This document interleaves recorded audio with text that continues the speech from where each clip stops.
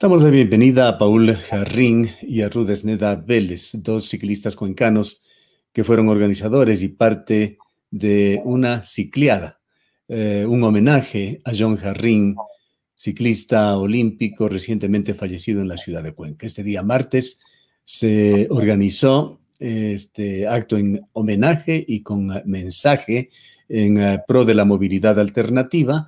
Lamentablemente coincidió con uh, un partido de fútbol de la selección ecuatoriana que arrastra masa sin duda y que compitió en cuanto a la presencia de un mayor público, pero varias decenas de ciclistas se reunieron en Cuenca para dar y recibir un mensaje. Vamos a pedirles a nuestros dos invitados que nos cuenten cómo les fue. Iniciemos con el criterio de Paul Harry.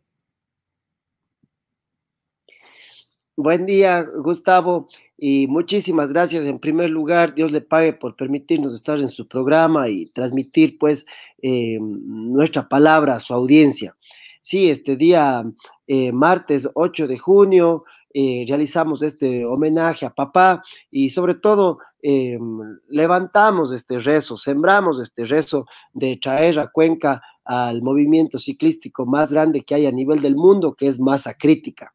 Eh, estuvimos alrededor de unos 30 ciclistas, eh, recorrimos las principales eh, calles de Cuenca, fue muy bonito, igual nos falta mucho en la coordinación, en la convocatoria, eh, creo que lo importante es que para nosotros esto es un nacimiento, que esperamos que para la siguiente convocatoria, como lo acordamos colectivamente, el día martes va a ser para el mes de julio y que cada vez se vayan uniendo más ciclistas, más usuarios de la bicicleta, principalmente quienes la usan como medio de transporte y también los que lo usan de forma recreativa y deportiva, para que en algún momento realmente nos convirtamos en masa crítica Cuenca y podamos visibilizar sensibilizarnos como ciclistas y podamos así también sensibilizar a la población, sensibilizar el tránsito para que ya no haya más ciclistas muertos en nuestras calles. A la final, el objetivo de masa crítica es poder pedalear seguros, poder contar con la infraestructura apropiada, poder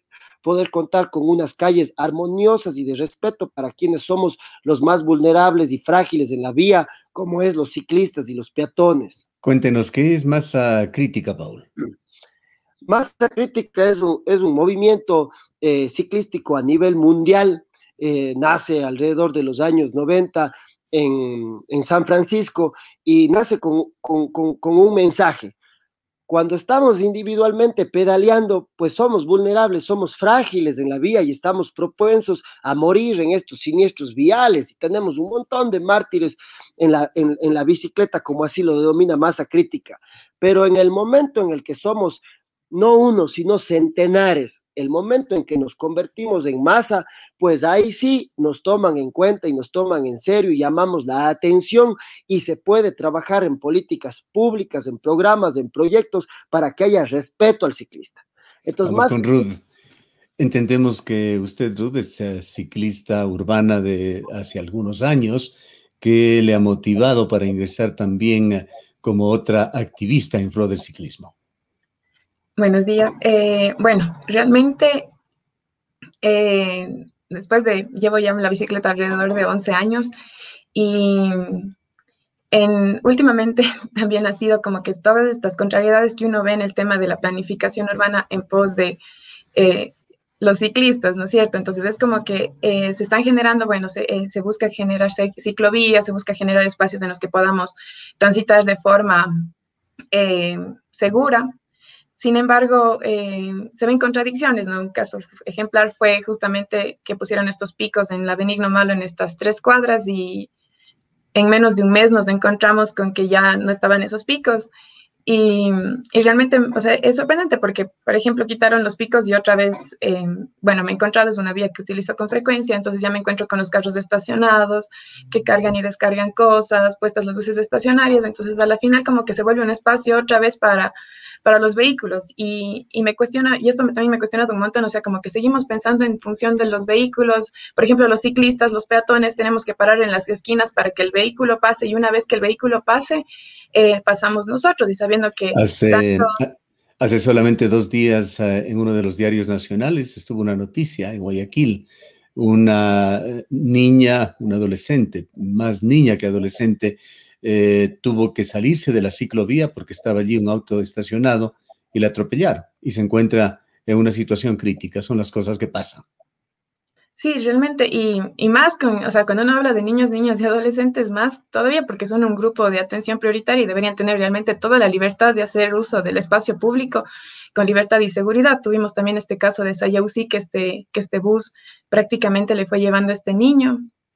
Eh, entonces son cosas que, que uno ve y, realmente me he empezado a cuestionar, o sea, eh, tenía eh, razón Paul cuando decía, bueno, los ciclistas más que todo cuando utilizamos como medio de transporte nos fijamos en esto de llegar de un punto A a un punto B y tal vez no, em, ya no nos percatamos de algunas cosas o naturalizamos, en mi caso, he sentido que he llegado a naturalizar tanto de que me abran las puertas, de que estén en las ciclovías, de que si subo por una calle que está más congestionada, tengo que ir con el un pie en la vereda y la llanta en, al filo de los carros, porque creemos que eso es lo normal en nuestro espacio. Y más bien en, los últimos, en las últimas semanas, en el último mes, y más con esto que, eh, que pasó también con, con, el papá de Paul, fue como que realmente qué estamos haciendo por intentar mejorar y que también nuestra movilidad sea segura. Y cómo también estamos teniendo una, una, actitud, o sea, como actitud ciudadana, em, y como ciudadana me cuestionan, o sea, ¿qué participación estoy teniendo para cambiar esa realidad de la que me quejo, no? Entonces, en cierta forma también es buscar como que estos espacios de diálogo y de, y de, y de poner sobre la mesa de que realmente la prioridad, bueno, primero tenemos los peatones,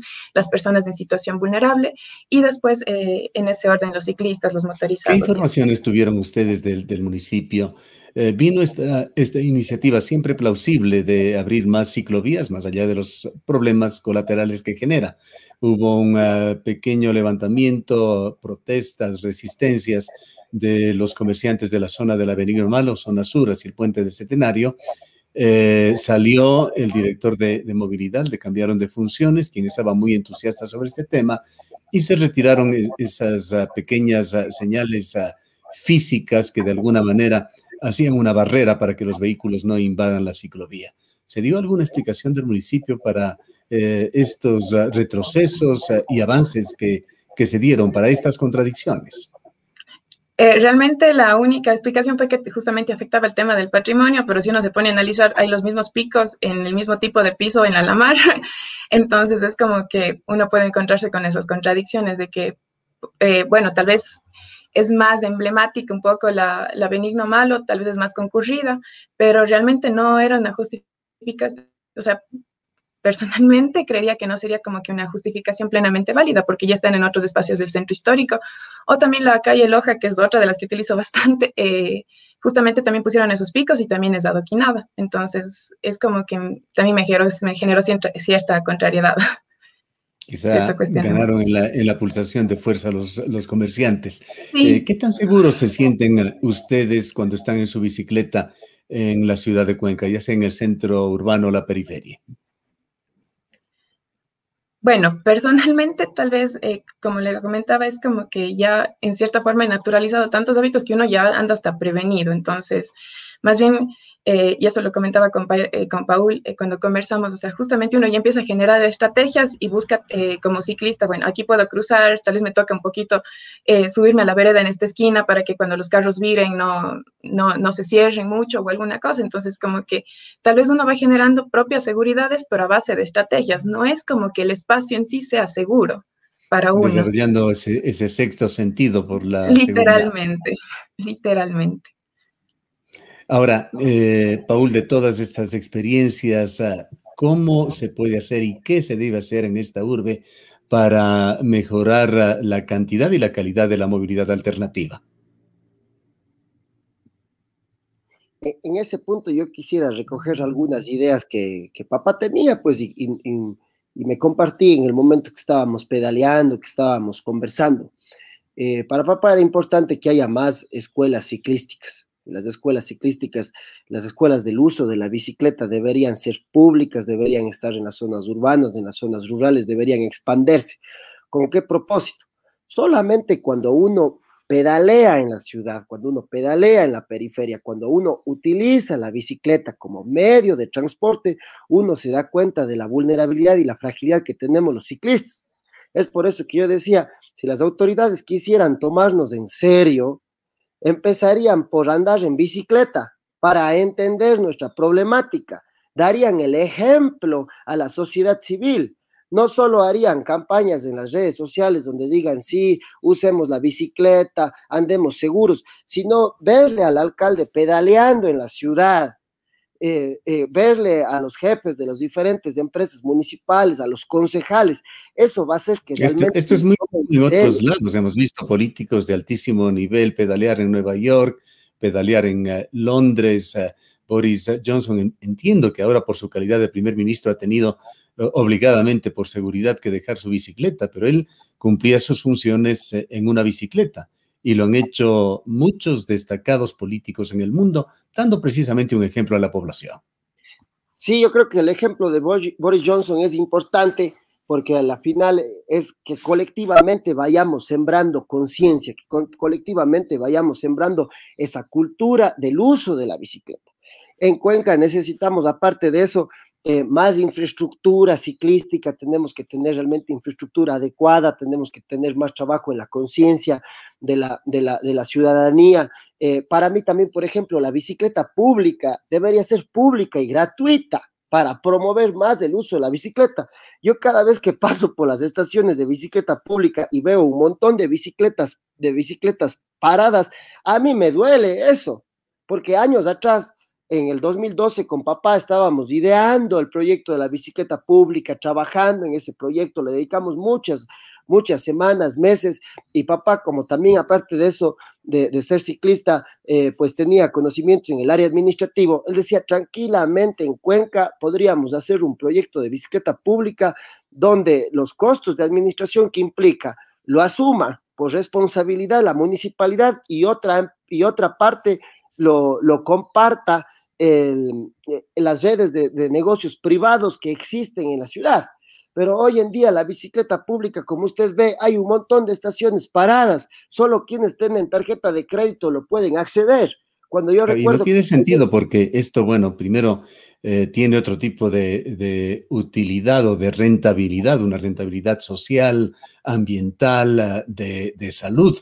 No tiene parangón, por ejemplo, los ah, millones de dólares que se están ah, utilizando, subsidiando al servicio del tranvía, mientras ah, en la bicicleta pública no se eh, hace nada para incentivarlo o se hace muy poco y no es de ninguna manera descabellada su idea de que se haga gratuita, con control, por supuesto, para preservar eh, este, estos importantes artículos y masificarlos de ser posible, pero no tiene sentido que espere rentabilidad en un proyecto tan pequeño y con tantos beneficios. Sí, por, eso yo creo que es importante que tengamos eh, municipios humanos, que, tengamos que entendamos que el municipio no es una empresa, y no es el espacio para, para trabajar como, como empresario, el municipio es un espacio para, para garantizar derechos, para proteger derechos, para proteger a los vulnerables, para mejorar las condiciones de vida, para dar dignidad. Pero uno ve que a la final aquí lo que prima es el patrimonio, lo que, lo que prima es lo económico. Y, y en ese sentido, la bicicleta representa un cambio la bicicleta es un instrumento de transformación personal, social, ecológico. La bicicleta no debería ser considerado como el medio alternativo de movilidad. La bicicleta debe ser apuntado como el principal medio de transporte. En Cuenca esto es posible y al movernos estamos trabajando de forma integral.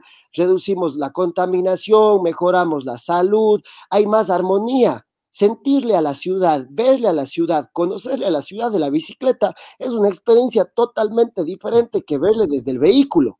Pero para que eso pase, necesitamos volcar a que Cuenca sea una ciudad segura para el ciclista, para todos Ahora, cuéntenos, ah, cuéntenos usted, ah, Ruth, más allá de estos temas que tienen que ver con la, con la seguridad, eh, ¿se puede decir que realmente en Cuenca existe una red de ciclovías, es decir, que uno como ciclista puede movilizarse de un lugar a otro de una forma un poquito más segura utilizando ciclovías. Realmente No, o sea, son muy pocas las articulaciones que hay con ciclovías y aún así, eh, las, si uno quiere hacer como que una ruta con ciclovías, se encuentra, bueno, con los carros parqueados, eh, con, por ejemplo, también he hecho, hago uso de la, de la remigio y con los peatones cruzándose a diestra y siniestra y los carros entrando y saliendo eh, sin mayores precauciones.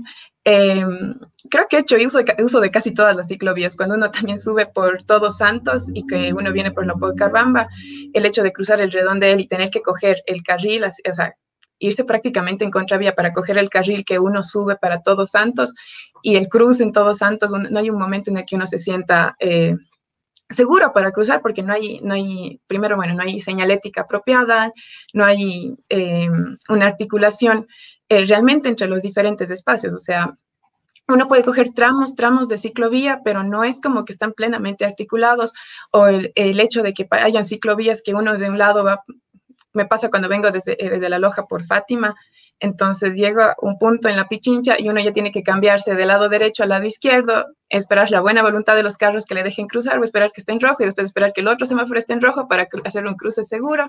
Realmente, nosotros también compartimos esta, esta afición más por eh, el tema deportivo, de recreativo. No nos movemos mucho en realidad desde la, desde la pandemia ya en el día a día dentro de la ciudad pero compartimos con ustedes esas preocupaciones. A veces estar en una ciclovía es encontrarse con más obstáculos que si es que uno circula por la vía normal.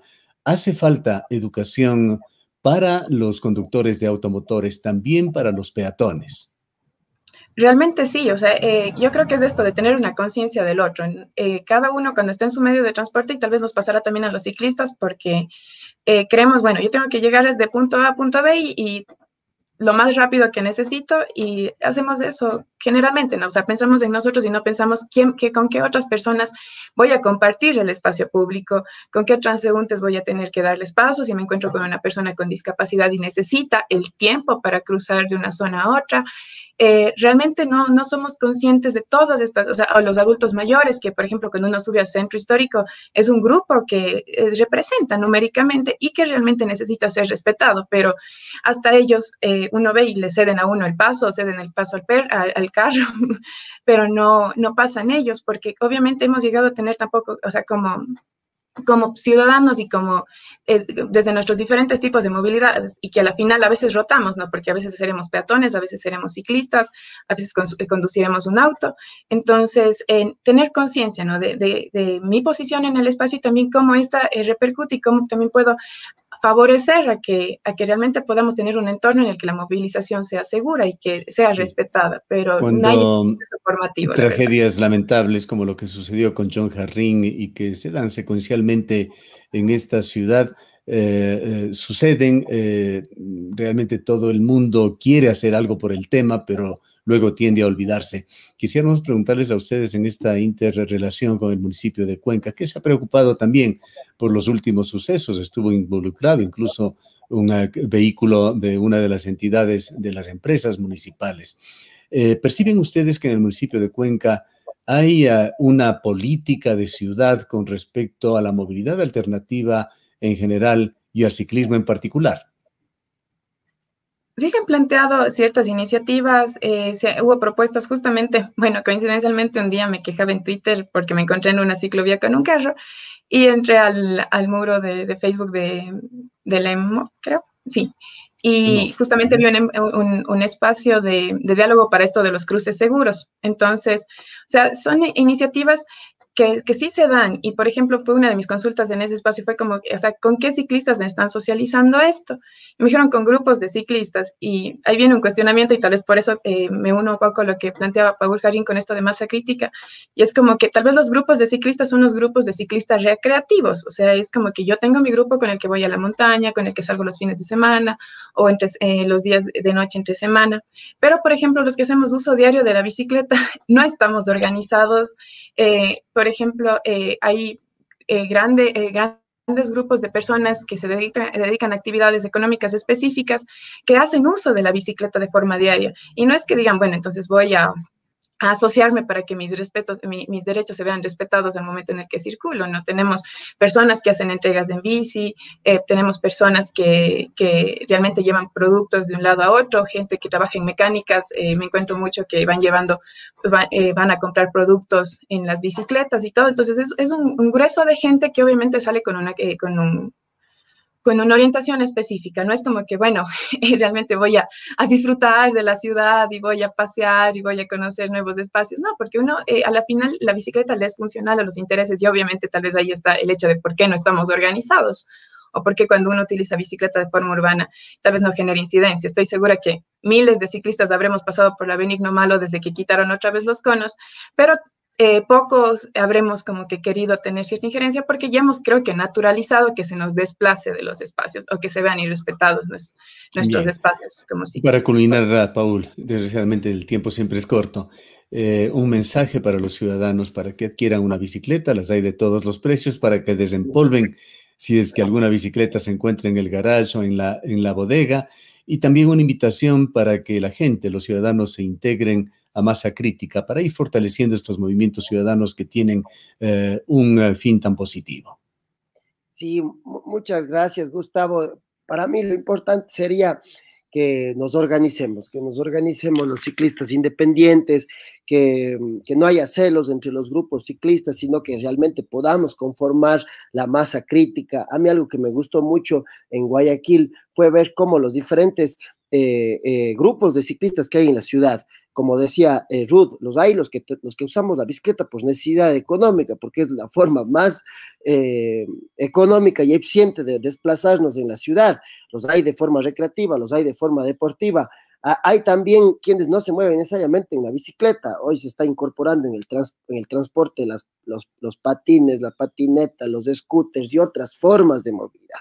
Entonces yo invito a que todas las personas que utilizamos una, una movilidad basada en nuestra propia energía, nos juntemos para formar masa crítica. La próxima convocatoria lo vamos a realizar en el mes de julio, posiblemente el, el día viernes, está por definir eh, eh, en qué, si lo hacemos el primer viernes de julio, si lo hacemos el último viernes de julio, eso lo vamos a definir con el grupo que estamos eh, levantando y organizando. Y pedimos a la gente que nos ayude a expandir esta convocatoria hasta el día en que realmente ya, no, ya nos sintamos totalmente seguros en desplazarnos en bicicleta. Y después, igual lo tendremos que seguir haciendo, pero para celebrar. Hoy estamos lastimosamente en esta situación de, eh, en nuestro caso como familia, pasando este dolor, pero como le hemos dicho en otras entrevistas, eh, no, es que no, no, estamos yéndonos en contra del alcalde o de la alcaldía, no es que no queremos que ellos nos asuman como enemigos de esta administración, que no lo somos. Lo que estamos pidiendo es que haya respeto por el ciclista, que haya reparación, que haya justicia, que haya armonía, que se nos escuche. Cuando se le habla a la autoridad, se habla para que la autoridad escuche para que salga el día, el día siguiente a, a, contradecir o a justificarse. Se le habla para que la autoridad interiorice esta necesidad que tenemos hoy los ciclistas de tener calles seguras para que no mueran más ciclistas en Cuenca. Queremos que la Muchísimas gracias. sea una ciudad ejemplo en el uso de la bicicleta. Gracias por habernos acompañado. Han escuchado a Paul Jarrín y Ruth Esneda Vélez, quienes son ah, ah, ciclistas urbanos y ah, también activistas promoviendo el ciclismo y la movilidad alternativa en Cuenca.